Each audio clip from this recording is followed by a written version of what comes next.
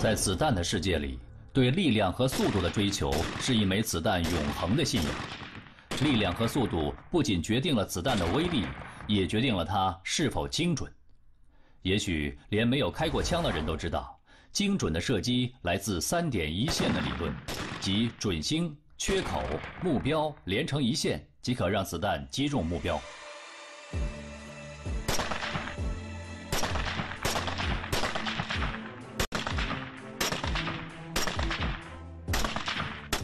人们常说子弹不会拐弯，事实是每一颗都会拐弯。二零零八年，在一部叫做《通缉令》的电影中，射手通过甩动枪口，使子弹绕出一道弧线，从而越过了障碍，击中了目标。这不仅仅是艺术的想象。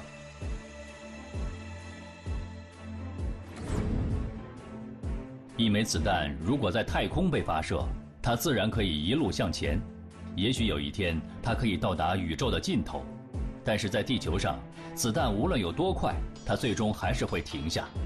这不仅来自空气的阻力，还有地球自身的引力。其实，由于地心引力的影响，一枚精准击中目标的子弹就像这支箭一样，它们从来就不是以笔直的轨迹飞向目标。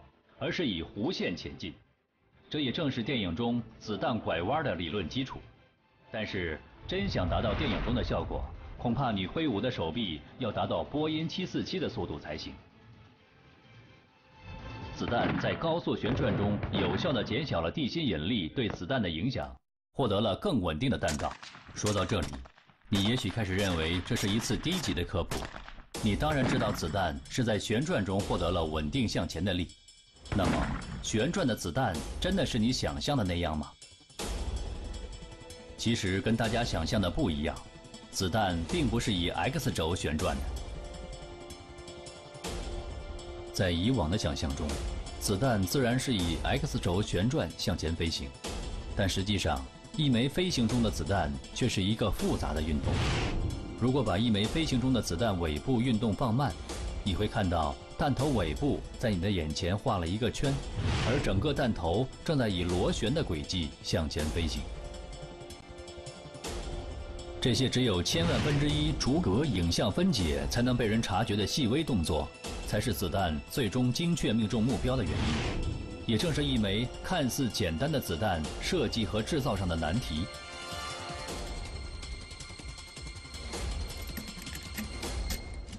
然而，人类经常会化繁为简，有一种子弹就完全可以不用顾虑如此之多细节，它是将简单粗暴发挥到极致的杀手，这就是霰弹。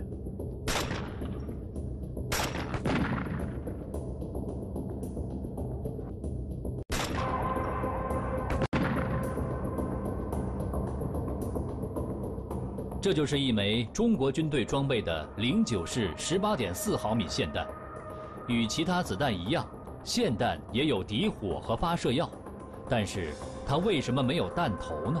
其实霰弹的秘密都在这个硕大的弹壳之中。这是咱们普呃经常见的七点六二步枪弹，这是咱们的十八点四霰弹，啊，这种弹虽然看起来好像没有弹头，但是它的。里面有若干个钢小钢珠组成，啊，激发过后，嗯，它的钢珠呈散布状态向前运动。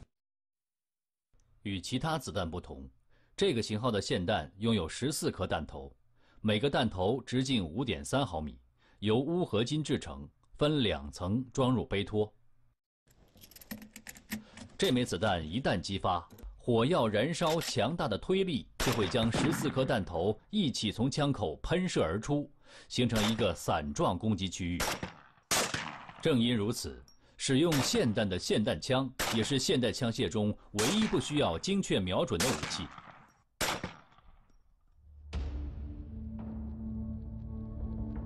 作为中国军队装备的一种霰弹，零九式十八点四毫米霰弹极其神秘，因为它只装备在有特殊需要的部队中，所以很少有人知道它真正的威力。那么今天，我们就来揭开它神秘的面纱。这一袋五十斤的面粉，就是零九式十八点四毫米霰弹的第一个目标。我想要的效果就是让它直接打穿，两边都能看到。咱们这个高速一拍，一定很漂亮。这个聚散可能威力可能要比那个警用的要大一些。零九式十八点四毫米霰弹是一种近距离火力极其猛烈的弹药，在突击、遭遇和伏击战斗中。以强大的方向瞄准和面杀伤能力备受青睐，在二十米范围内被它击中，生还的可能性微乎其微。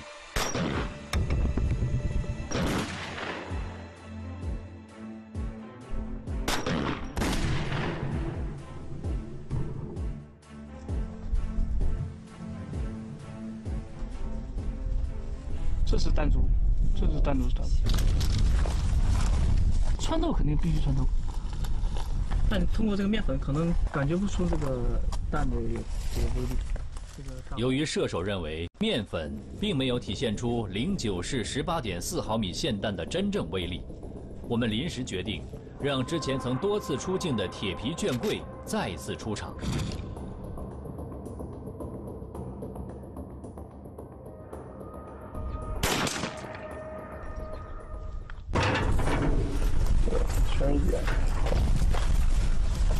这两层铁皮没打过去，穿了一层，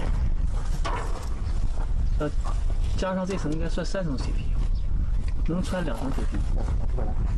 就看这个就比较明显，加前面那层后围层两层算两层铁皮，两层两层铁皮全部贯穿应该没问题。刚才的一次射击，零九式十八点四毫米霰弹的十四颗弹丸，有十二颗贯穿了铁皮卷柜。虽然有两颗被卷柜所加厚的部位挡住，但就其深深嵌入的样子，威力也可见一斑。可以肯定，无论在任何地方，你都不会想与这样的一枚霰弹相遇。离开枪膛的子弹具有毁灭一切的巨大力量。那么，你有没有一点好奇？子弹在进入枪膛之前，它在哪？子弹作为军队储备和战场消耗最大的一种物资，他们离开工厂之后是怎样安全地被运送到军队乃至战场上的呢？首先，他们需要一个弹药箱，